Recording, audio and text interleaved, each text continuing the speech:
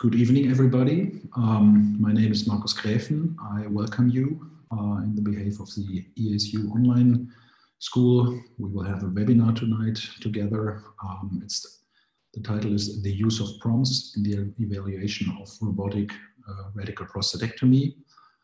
Um, yeah, I welcome you. I hope you you had a nice day, and uh, we have some some points of discussion later on. First of all, I will give, give a 40 minute presentation to you.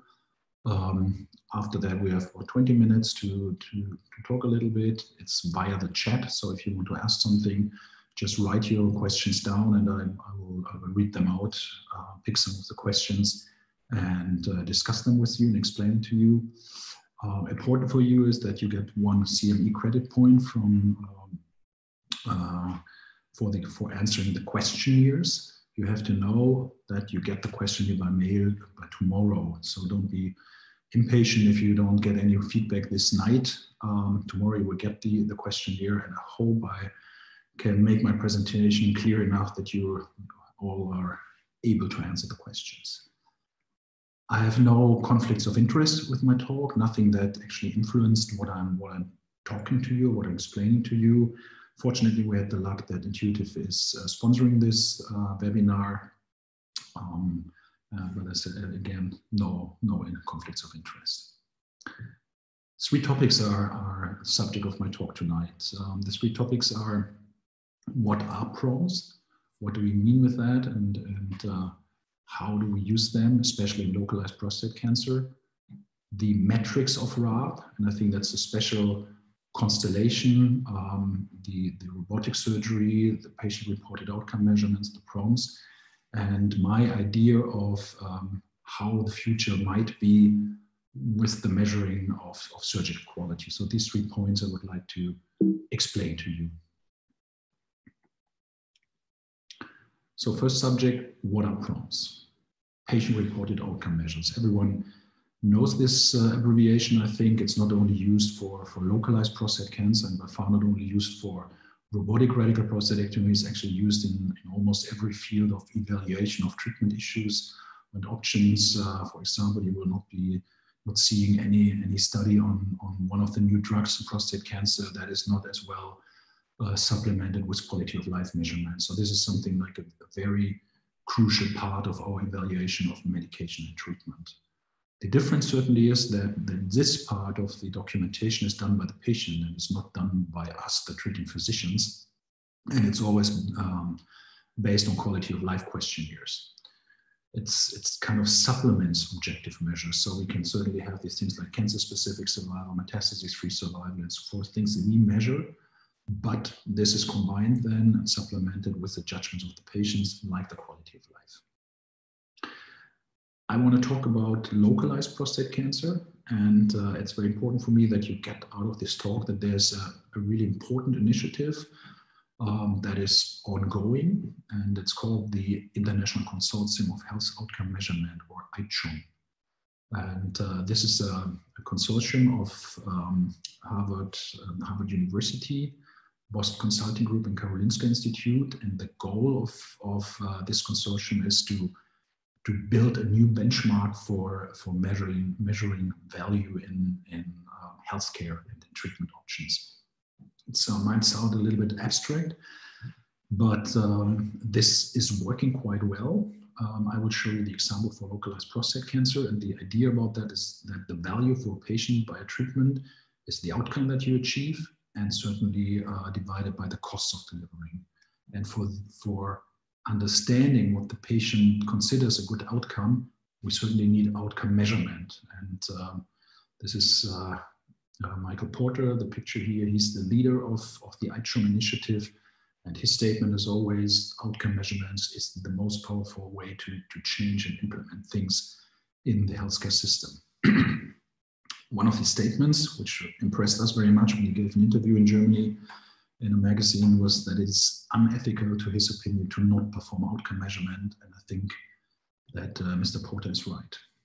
So what is the idea of ICHOM? The idea of ICHOM is that the needs, the wishes, the hopes of the patients are at the center of attention. And what he emphasizes is that outcome measurement must be systematic, must always use the same same uh, questionnaires. It's the same point in time. It must be standardized. It must be risk adapted. Otherwise, it's it's really difficult to compare outcomes. It must be transparent in the way that it's reproducible and, and people can just deal with this data you're you're producing. And certainly, it should be internationally comparable. So these are the the um, kind of prerequisites that uh, Michael Porter states for outcome measurement what, what is necessary, validated questionnaires. We have seen in the, in the earlier days so many publications, for example, on potency and continence. Without the use of validated questionnaires, I think the time is over. You will not get any paper accepted anymore when you're not using validated questionnaires. You must as well, otherwise it's completely useless, uh, obtain a baseline measurement. You must define for such a standard set of quality measurement uh, the time points for the measurement. It must be practical. You have to think that patients have to sit down before the treatment and after the treatment and, and fill in this questionnaires and must be, let's say, motivated enough to, to send them back to you so they shouldn't be too awkward, too long, so forth. It's kind of a, let's say, mixture between being precise but as well making it um, nice for the patient.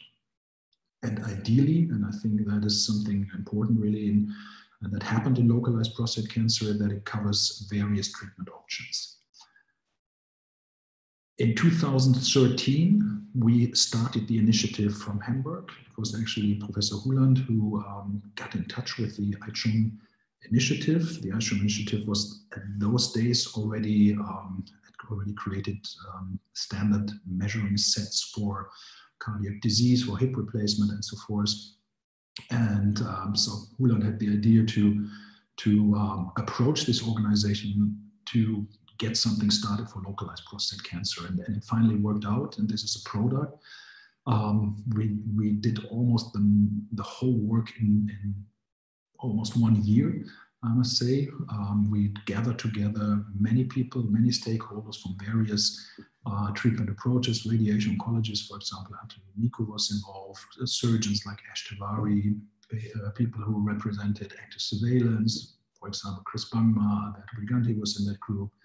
We had patient representatives, and uh, all together we created this data set with um, consensus meetings, telephone conferences, and as I said, this is the product. What is it measuring? It's measuring there in, in various treatment options, complications, oncology data, and functional data. So with this data set, with this patient-reported outcome measurement data set, you can measure the quality of active surveillance, of prostatectomy, of external beam radiation, brachytherapy, and as well, because you have to sometimes combine that androgen deprivation. You see acute, acute complications. This is this uh, uh, sector here.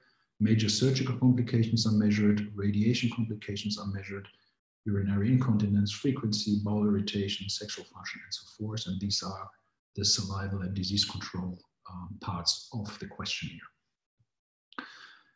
What does the actual uh, criteria measure? Toxicities and complications within the first six months, and then urinary incontinence, irritation, bowel symptoms um, using the EPIC 26 short form. So that is the basis for the ICHOM criteria. This is something an important issue because uh, you have to know that there's so many questionnaires out uh, these days, but uh, finally this group and the ICHOM consortium agreed on the EPIC 26 as the standard uh, short form basis for our measurements and the oncological outcomes, as you can imagine, certainly overall survival, cancer specific, metastasis free, and biochemical recurrence free survival. What you need to obtain certainly are, baseline information on clinical and pathological information and the comorbidities to make it comparable um, in between the treatment options.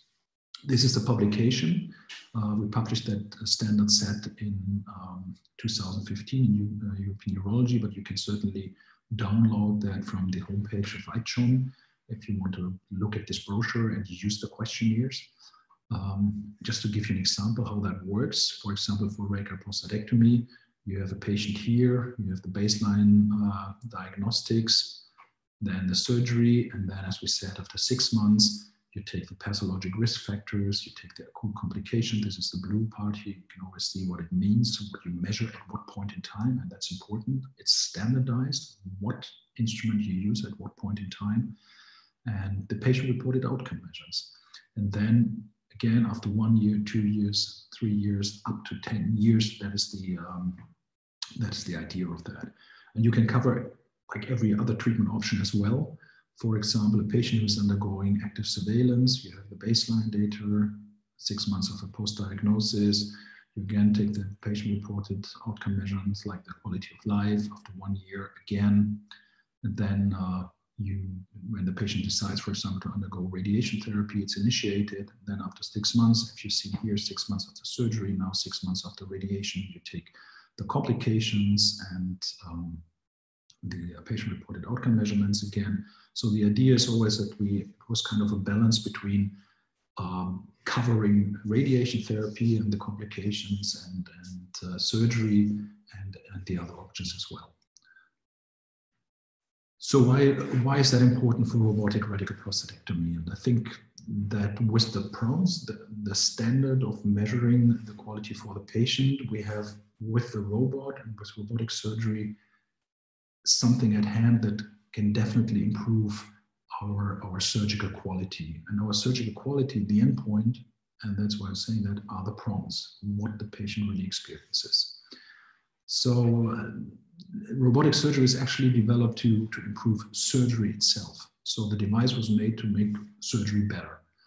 But um, what, what is clear is that the evaluation of surgical performance is much easier with the robot than it has been before. It's much easier than in open surgery where you don't take a video. It's much easier than in conventional laparoscopy, uh, for example, where you cannot take uh, performance metrics during the surgery. Therefore, we have a unique situation in robotic surgery.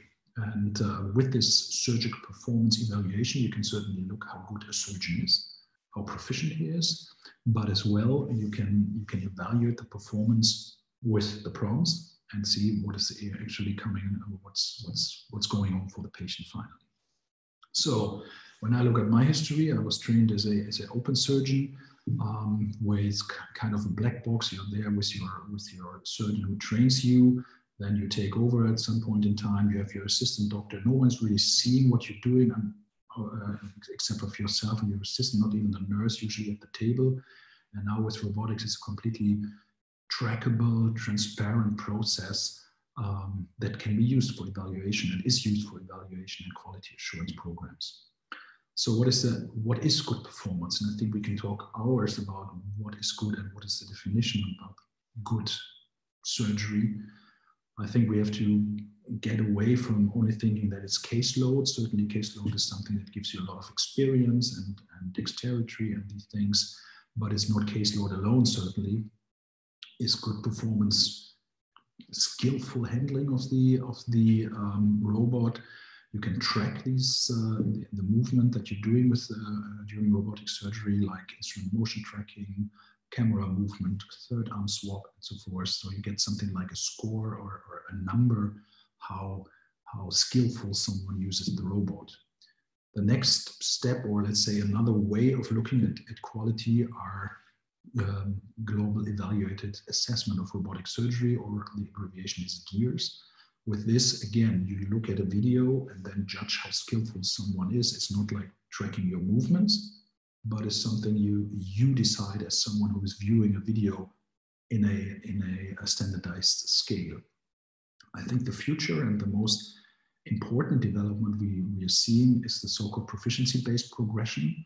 And the idea behind that, I will show you a publication that we just had on that in, in December, is that um, we're not looking at, let's say, the number or dexterity, but we define what good surgery is and then judge whether the, the surgeon reaches this goal of the criteria of good surgery and we define what errors are during the case and uh, allow a certain amount of, of errors to, um, or and, and, certainly a cutoff where someone can be stated to be able to do a good or a bad surgery. In the case that we're going to show you is, is certainly nerve sparing radical prostatectomy.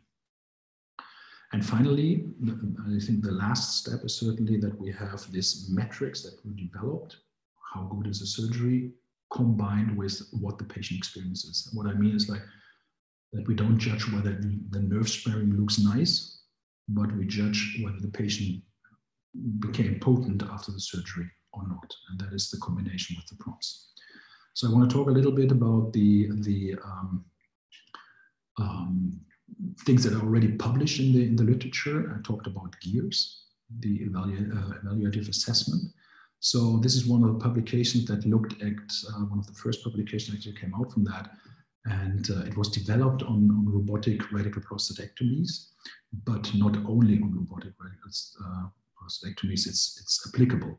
What I mean is that the, the, the skillful uh, handling of the robot, the familiarity with the system is measured here. And what you see is things like videos have to be, be uh, watched at depth perception, for example, if it's constantly overshoots the target, that's only one point, or is the, the, the um, depth perception very good, accurately directs instruments, By manual dexterity, is someone just using his, his uh, right hand and not using really his left hand, third arm swap and things like that, force sensitivity, efficiency of the movement. So the better you are, again, judged by, by someone who's watching the video, putting a number in these scales and then adding these numbers up, the more, the higher the score, the more dexterous is the, uh, is the surgeon.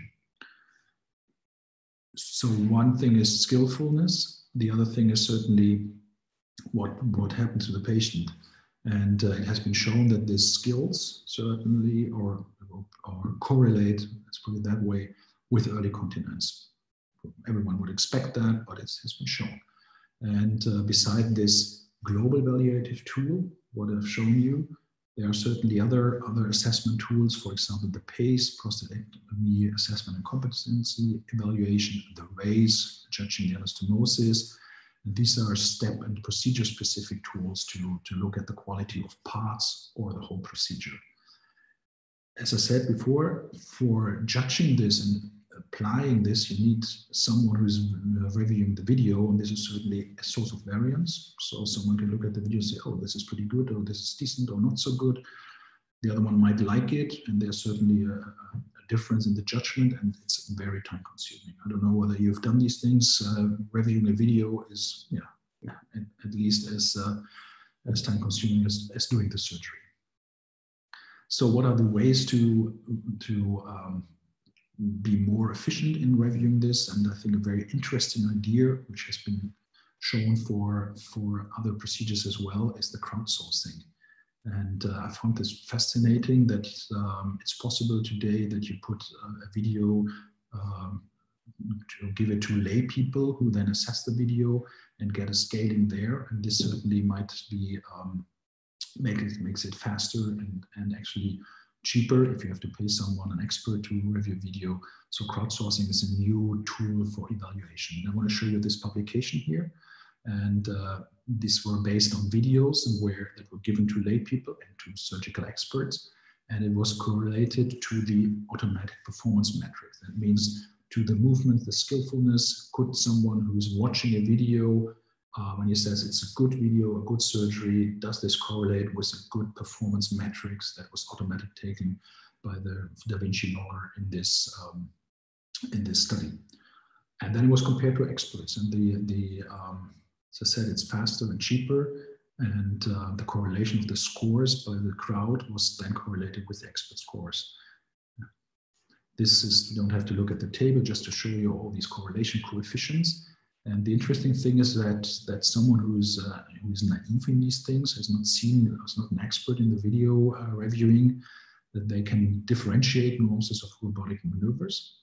Um, when they use this scale, when they look at the, the um, assessment scores, and uh, they were certainly not as good as a uh, experienced surgeon in the in the way of understanding so many nuances of the of the uh, procedure, but clearly the scores they had correlated with the um, performance metrics and were pretty much in line with the experts. So that was, uh, I think, is a very interesting observation So uh, lay people, yes, they can discriminate surgical skills when you give them a tool to do that. And this is a new source, certainly for cost-effective, fast, accurate workforce.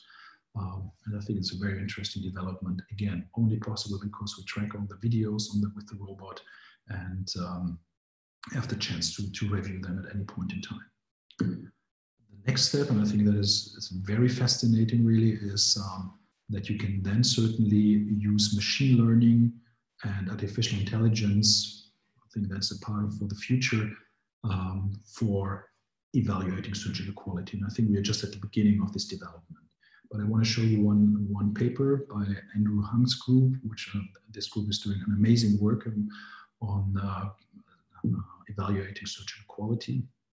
What they did here, they combined machine learning, like artificial intelligence, developed algorithms by the computer, and correlated them with uh, um, or based on uh, um, the automated performance metrics. And the idea was that within the study was that the um, this, the skills, the, the performance of the surgeon with the with the robot was correlated to the length of stay. Does someone have complications? Must stay longer in the hospital? Can we take the catheter out earlier? These were the endpoints. And then it was looked at the automatic performance metrics tracked by the Da Vinci logger. And uh, it was interesting to see that an algorithm is able, just from the movements, the way people uh, use the robot to predict with a pretty high accuracy whether the patient will later have complications or not, which means he needs to stay longer or not. So with a 88.5% accuracy, it could be said that the patient can be discharged in time. Um, which I found really impressive.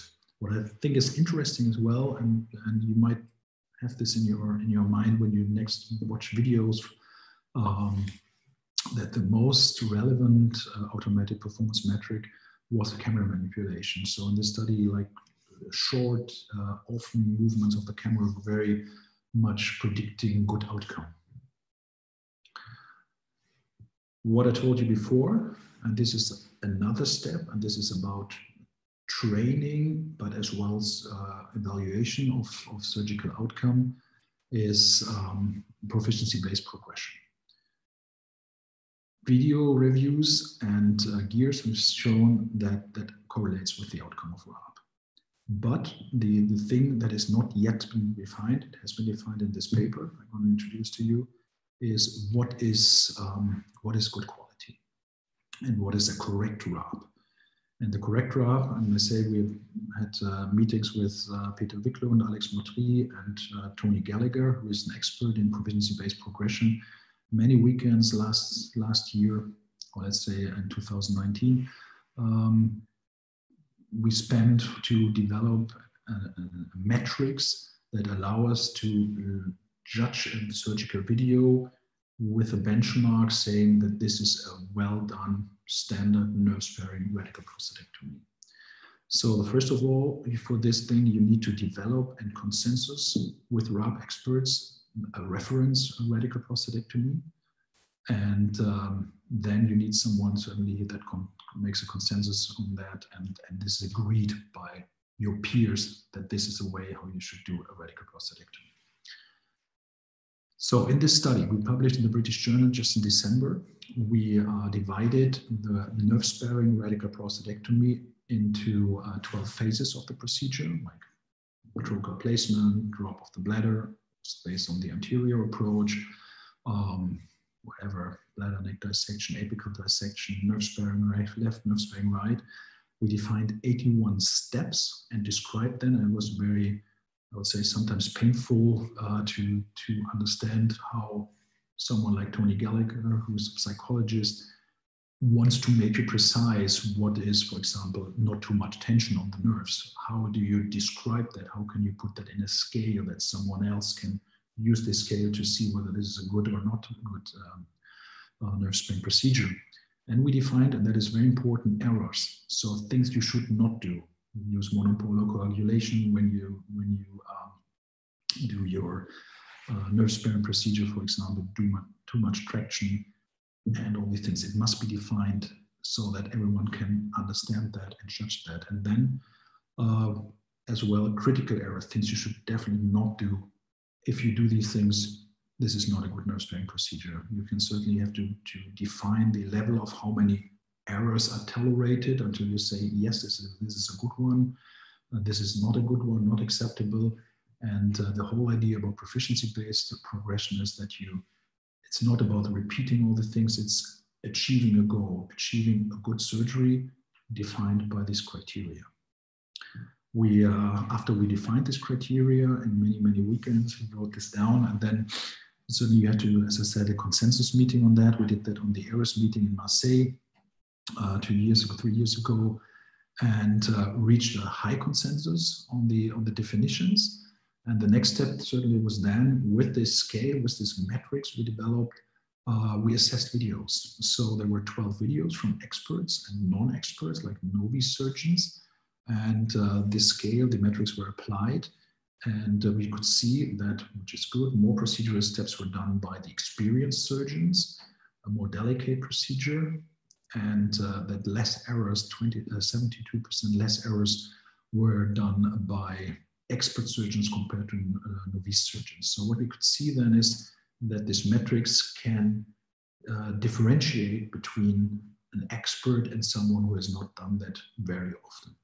This is certainly only one step. One interesting thing is um, what was the most important phases of differentiating the experienced and non-experienced surgeon with the most errors and uh, made by the novice compared to an expert, and that was the nerve sparing dissection.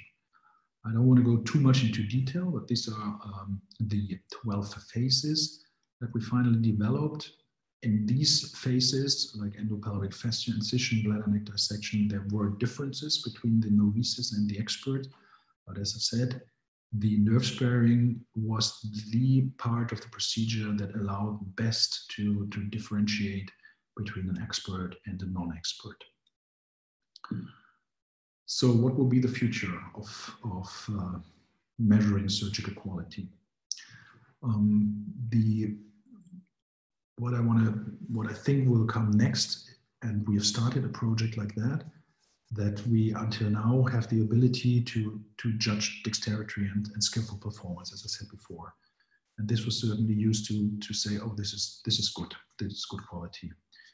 We know now that dexterity and good outcome usually certainly correlates quite well, but it might not be the same. So you can be very skillfully destroy the sphincter muscle, for example, or use a technique that is not transporting to, to good continence or good potency. And I think with the PROMs, the combination of what we get from the robot and with PROMs, we are at the at the point where we can correlate that. So we have to I think get kind of rid of our traditional assumptions of our own that we we think as a surgeon this is how things are done well and judge the next our peers with our expectation. It must change to the endpoint. We judge the quality of the surgery to the outcome. And I want to show you one, one project that we've just started. This is together with the Orsi Institute under the, the um, guide, uh, the lead of Alex Mottrie and Tony Gallagher. There we want to correlate, and you see here, I put this together, these are 120 videos we have from the Martini Clinic, where we had the baseline um, criteria prior to surgery, and uh, then the criteria here after the surgery. So this is half year and one year after surgery and uh, have patients who are potent and impotent. And uh, we will now uh, evaluate our metrics with the in respect to uh, outcome status before video, status after surgery, and uh, to see how it works. We have not yet started with it. We've defined and, uh, the videos, and this will be certainly the next step. And I think it, it will work out fine. The whole thing is about recognizing important steps and maneuvers during the surgery, avoiding errors that impact outcome, the judgment of surgery quality on base, based on matters uh, on outcomes that matters to the patient. And I think the, the whole idea when we talk about the future is certainly with the with uh, pattern recognition that will be introduced by artificial intelligence and machine learning at some point in time, I think we're far away of being there, we will be able to use the videos and uh, understand, let's say, ways of how surgery is done well, maybe beyond of what we expect. Maybe the artificial intelligence will giving us a new insight by reviewing the videos, having the endpoint of, of good outcome. And maybe in the future, we will have something like uh, in, in, the uh, new upcoming robotic systems, um, uh, an artificial intelligence that might block a surgeon when he's doing a mistake, uh, destroying a nerve when imaging is, is combined with that and so forth. So I think there's, we're just at the beginning of an amazing development like a GPS in your car. I think we will, in not too many years uh, away from now, have things like GPS for, for radical prostatectomy and surgery in general. The other thing is, um, so this was based on the robotic surgery and, and patient-reported outcomes, and I want to show you another initiative that is based again on PROMS. And uh, I want to show you one publication. I thought it was interesting to our subject tonight because it's um, the first study that patients uh, organize. So it's not only us who giving the patient the PROMS, it's now patients starting to evaluate treatments as well. And uh, this was one of the so-called game-changing sessions on the EAU meeting where André Deschamps, he's one of the leaders of the patient representative groups in Europe, uh, presented this study. Um, the idea of that was that he says we want we see all this data in the publications, and this might not um, necessarily transport to what we see in daily life. All these nice randomized trials might not reflect reality. So what they did is a 20-minute online uh, online survey, EPIC 26, EORTC, um, uh, quality of life questionnaires. They covered about 3,000 patients that were treated with prostate cancer in Europe 24 countries and collected their data. It's like a longitudinal study they performed. And you see here one comparison, which I like very much. So what did this, uh, what did the patients do? It's patients initiated, patients driven, completely done by patients. I want to show you one graph. The whole study was actually published in December in European Urology Focus. And you see here, this is a sexual function um, after uh, radiation therapy uh, reported in the literature. You see the publications here and the decline of sexual function. And you see that it's overestimated, and it was one of the key messages here from the, the patient representatives, the, the uh, sexual function after radiation therapy, because this was what they measured in their peers, what the patients reported outside trials, which was worse than that. And the other comparison, which I thought was very interesting as well, they compared it to the PROTECT T study, that, that we all know. We know that the Protect T study was uh, done uh, on, on, early and uh, early intermediate and, and, low risk prostate cancer to compare active surveillance, radiation therapy, and, uh, and, surgery, always good outcome, as we know. And then it was focused on quality of life issues and uh, what the patient representatives found in their peers outside such a trial is that the quality of life in active surveillance was the best and radical prostatectomy was pretty much like in the trials shown. This is the red bar. This is um, the, the sexual function. And, you, and interesting that for radiation therapy, the sexual function was worse in reality compared to radical prostatectomy.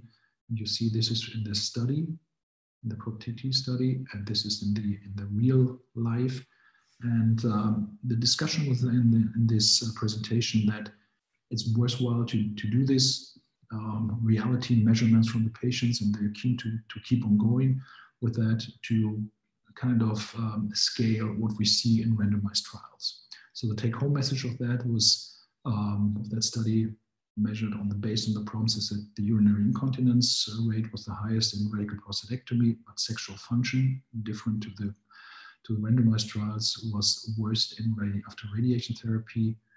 Fatigue and insomnia very much impacted the quality of life and the best quality of life was seen in under uh, after active surveillance. Again, results of studies in real world might not necessarily be comparable. Finally, there's one other initiative I just want to raise your attention to because I think this is the next way of using the, the um, data we get by PROMS. It's um, the PCO CRV trial. It's prostate cancer outcome compare and reduce variation. So this idea is that the ICHOM criteria are used and this is already ongoing. We have participated with many other clinics in Germany uh, using the ICHOM standard set. And this will allow us in the future um, uh, to compare clinics in between the outcome of clinics between uh, clinics. The idea is certainly not to, let's say, punish someone, but to understand and recognize uh, factors that might be connected with worse or better outcome and uh, to see whether this can be helping to, to change the structure or do other thing, things different in order to improve quality. So this is the end of my talk. I hope I could show you that patient-reported outcome measurements are now part of the, the daily life that we should all have in our uh, clinical validation. My take-home message is it's very important that you measure patient-reported outcomes. You have the standard set at hand. It's free and available. I think it is only a question of time, and at least in Germany, you need to use this ICHOM criteria standard set in order to get your prostate cancer uh, center certified by the German Cancer Society. So there's nothing we can say, oh, this is nice to have. I think it will be compulsory in the future, at least if you if you want to have something like a certificate for your uh, cancer center. It, it's very very helpful for looking at your own quality the studies, like I showed you the PCO trial, comparing internationally, are ongoing. So I think patients will look at that, will be aware of that. And you have to know, for example, that the PCO trial is, is uh, funded by Movember, so by the patients themselves. We have seen that patients are now taking things in their own hands. They are doing their own studies, looking, uh, using PROMs. Um, with the robot, I think we have the chance to, to use all these uh, data we achieve from, from PROMs and correlate it better than before with our surgical technique and our surgical behavior, because we can track the videos. We might be in the future able to, to use artificial intelligence to recognize good surgery. And um, um, finally, I think uh, we have now at hand and develop metrics that allow us to identify good quality. And again, with artificial intelligence, it might be less time consuming and very easy to apply. And I think that will change the world how we train people, how we evaluate the quality of surgery. Um, yeah, I hope you find this interesting and um, I thank you very much for your attention and I'm certainly happy to take questions. Thanks a lot.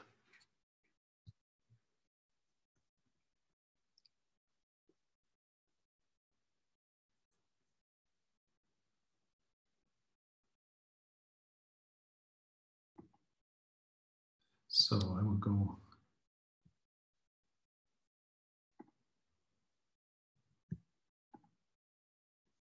Okay, so I have questions here. I have a, a question here from, from Dr. Gombos. How can PROMs help and should be implemented if a novice has only the possibility to perform just a maximum of 25 prostatectomies a year? That is a very good question, but um, you, if you if you think about um, let's say the the tradition of of the more you do the better you are i think that's clearly that there's a strong correlation with that um, but on the other hand you can use this standard set for judging yourself so how would you i mean certainly you get the feedback from your patient saying oh this guy has a continence problem maybe you're referring urologist um, uh, mirrors that back to you or the patient is complaining. But uh, this gives you at hand a possibility to, to rate yourself. So I think um, it's very useful even if you have a low, low case volume. I think even more, or at least the same thing uh, useful as with a high volume uh, surgery, you can lose it in, in, low volume. It's just a standardization of what you think is is, is good. There's another question from Dr. Lapera. What does it mean, metrics? Metrics are measurements. Metrics are, are parameters that, that, that you can scale, where you get a number from, how you can measure quality. That is the definition of metrics. Then I have another question. What is your experience in Hamburg with patients completing the questionnaires? Are they still motivated a couple of years after treatment? And how do you keep them motivated? Oh, that is a very good question. Um, I may say that that we are struggling with that absolutely, and, and therefore thank you for that question. But I think that there are a couple of ways of of um, yeah, keeping them on track. First of all, we have um, we tell the patient at the beginning when we take the baseline uh, evaluation with a nice uh, letter before the before they got admitted uh, how important that is. And they they benefited from the knowledge that we got because other patients before them filled in these questionnaires. And um, then certainly on the ward they they are motivated again. We have people just like like on our outcome study group students who are if the patient haven't filled in the questionnaire the baseline questionnaire they get uh, approached so that we get as much complete data as possible. And then the, the next questionnaire is sent out automatically. And that is something if you want to to implement that, try to automate as much as possible because in your clinical uh, day, you will forget things, you will have lots of work to do. So if you don't standardize, automatize things with, uh, like, uh, uh for example, automatic reminders if a patient doesn't answer, you must do these things. How can you motivate them? What we are doing and that was Hartwig Huland's idea, and I think it was a very good idea. We sent the every every patient who was participating in that, we tracked the patients, and we sent them at the end of the year a, a letter, certainly automated, dear Mr. So-and-so, thank you for giving this is what we've done with your data. And then we summarize for the patients who participated in the questionnaires what we did with, them, with their data. And, and people like that, the patients like that. They feel kind of a responsibility of, of um, yeah, giving back something um, for other for uh, for their peers. Oh, do you define PROMs only in RARP? Uh, Dr. Matzdag is asking that. No, I, I think uh, so.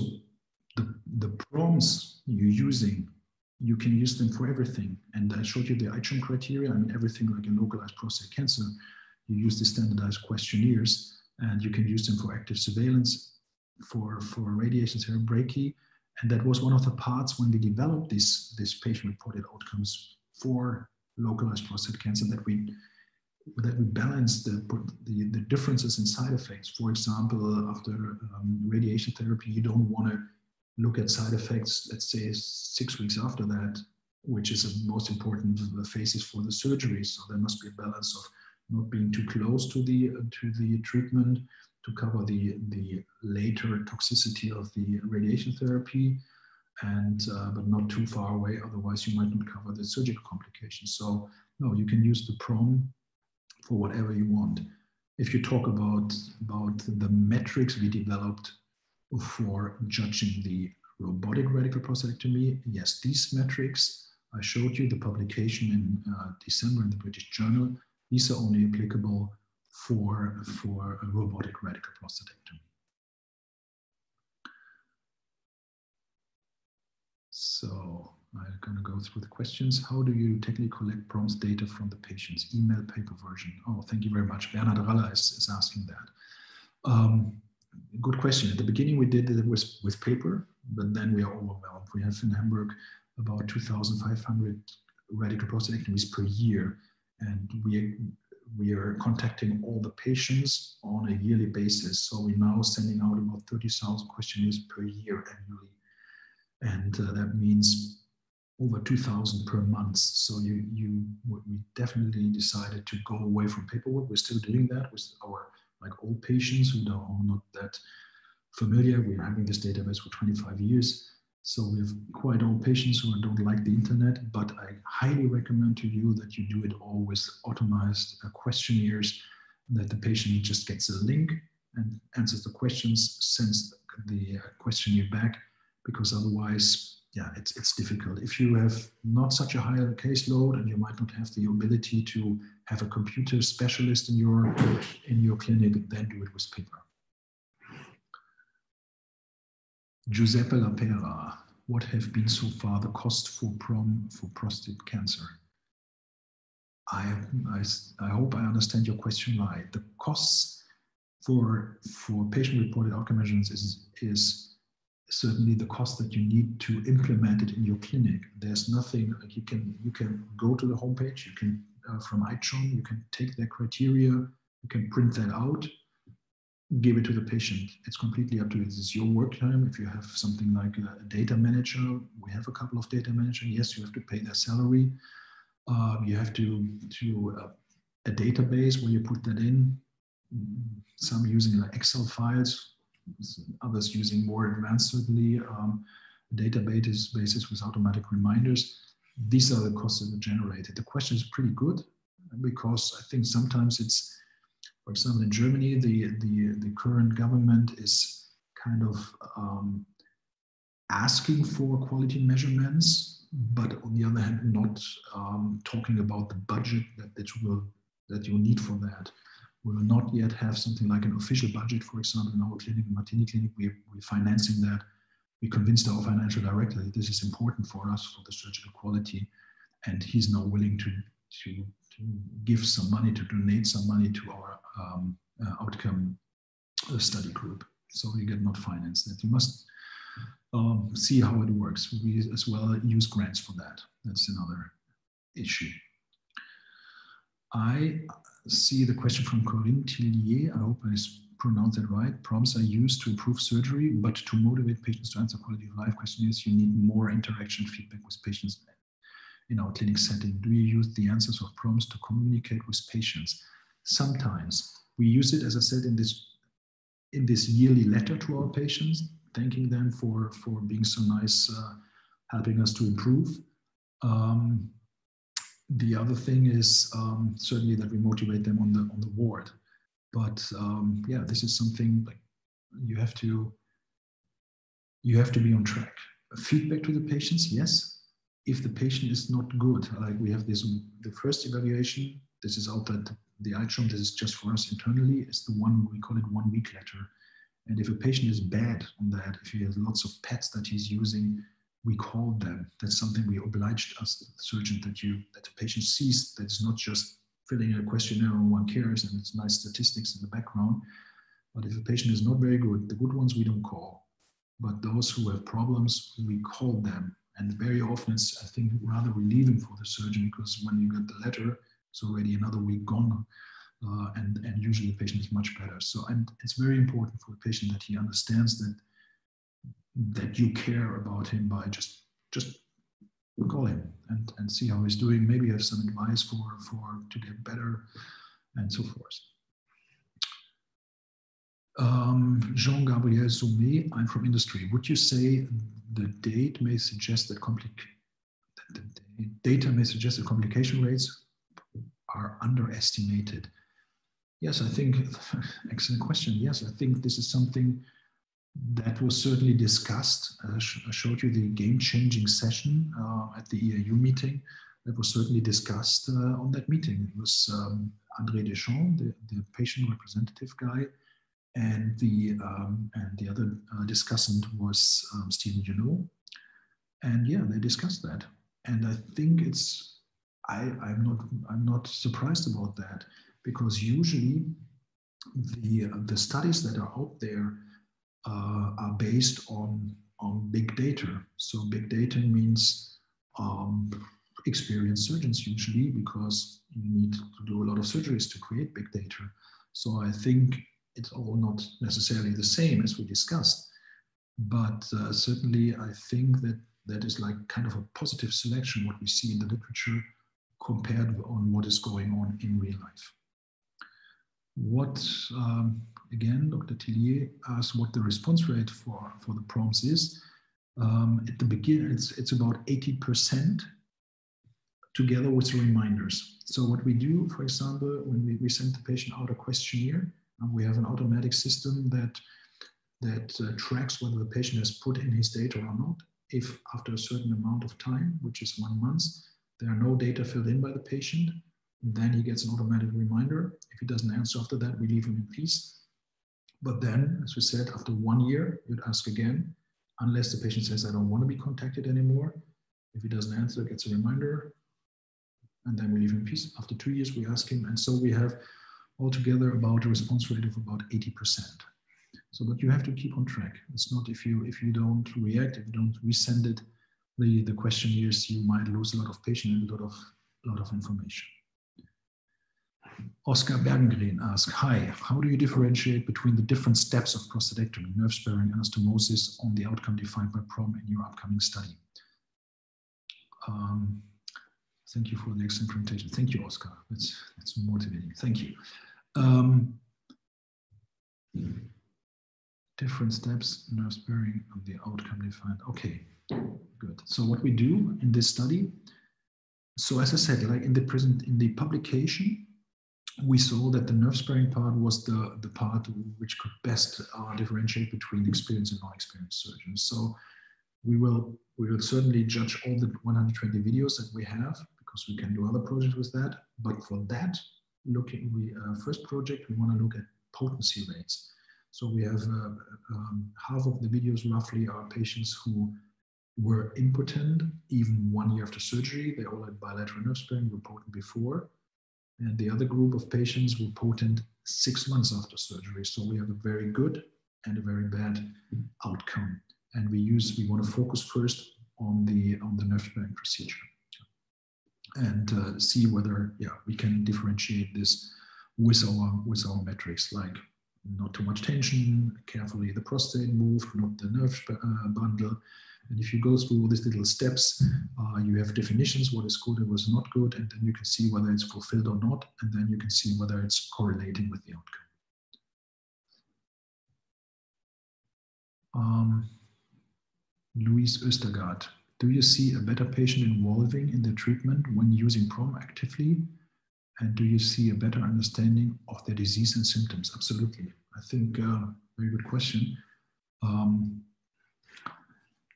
Absolutely. And, uh, and what you picked up in your question is the whole idea about the ICHOM criteria. And I think that is based on a little bit of different thinking. I want to give you one example. When we do surgery, I think everyone is, is pretty proud of himself or herself when you take lots of lymph nodes and lymph node dissection. So, oh, I've taken 30 lymph nodes, they're all negative, or maybe it's one positive. This is outcome that is something important for us, but not necessarily for the patient. The patient might have other other issues, or it does definitely have other issues. How can I perform my life after the surgery? Uh, will I be potent surgery? Will I be incontinent? So I think it's a bit bit uh, uh, different, and I think that you definitely understand the patient's needs better if you look at the PROMs. And I can tell you that that um, having a database and getting a reflection of your of your data that you produce makes you definitely more humble when you see that even if you're very experienced you there might some patients who are not very nice but on the other hand you get a lot of nice feedback when you see yeah, we've done this technique for example we did a publication on, on it's called full functional length of the urethra technique um, where we changed the way of approaching the apex during the radical prostatectomy. And then with the PROMs, we could see that indeed this change uh, of, of surgical technique led to earlier continence. And we discussed it in our group and took over this uh, technique and this variation of apical approach. And I think that is very stimulating for, for you um, uh, as, as a surgeon to, yeah, to improve. And it's like a constant process, actually. Another question by John Dolosel. Hope I, I, again pronounce your name right. Do you think that PROMs should be organized by a third party? Very good question. Very good question. I don't know whether it should be organized. I think first of all, uh, to be to be realistic, um, is there someone who would do that in your in your situation? I don't know which country you're you uh, you're living in.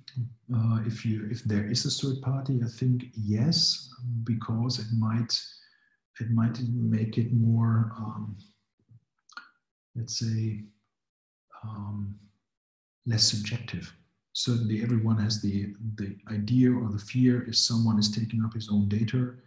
Um, you know, it might be different if a third party is doing that. So ideally, I would say yes uh, we have done studies like that, I can tell you, and um, but on the other hand, if you have the PROMs, the PROMs are if you send to a patient, it's a standardized way of answering. So the patient should, I think that's pretty much the truth, should you know give you the questionnaire um, back in the same way he would give it to a third party. Okay, any further questions from your side? If that is not the case, oh, regards from Mohamed Khalil, thank you very much. Um, Sophie de Beer, what kind of program do you use for data registration? I think of REDCap. Uh, are there others? Yes, there are certainly others. Um, what we are using is a FileMaker program. We actually programmed that on our own. We developed this in the years and we're using that, but there are um, now um, databases that allow application. It's one it's, it's by Philips, one um, program that we're just implementing. We've just bought that because we want to get away from our homemade way, which is actually working nice due to all these um, uh, data restrictions that we see now to like an official company um, uh, supporting our, our databases. We have not yet implemented, we're just trying these things out, but we actually have programmed that. Whatever database you can use, use it.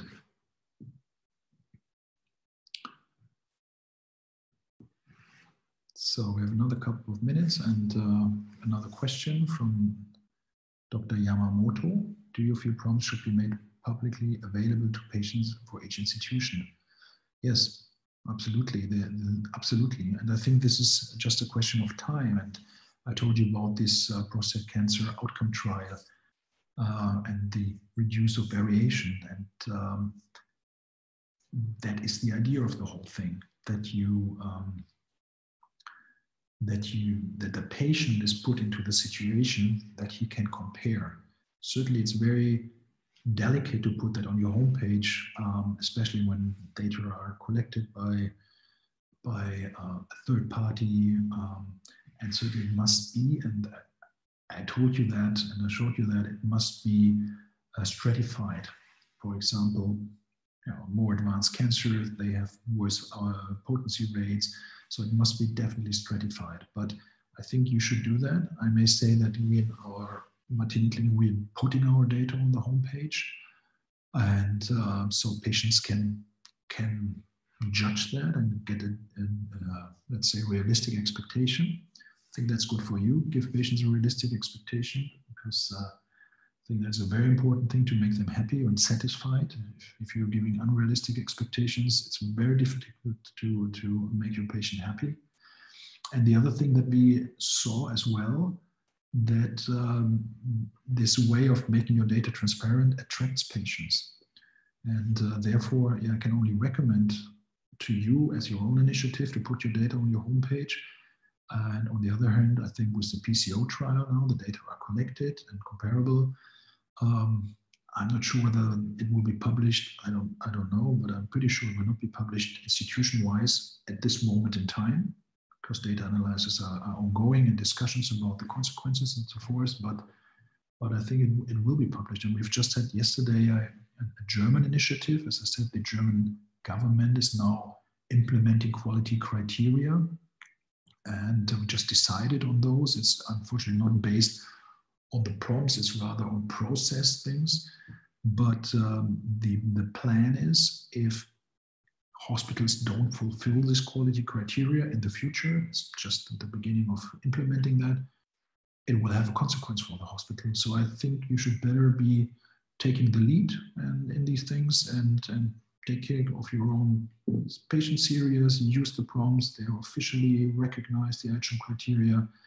You will learn a lot about yourself and, and your, your surgery, and uh, I can only highly recommend to, to get that started. Okay, thank you very much for your attention.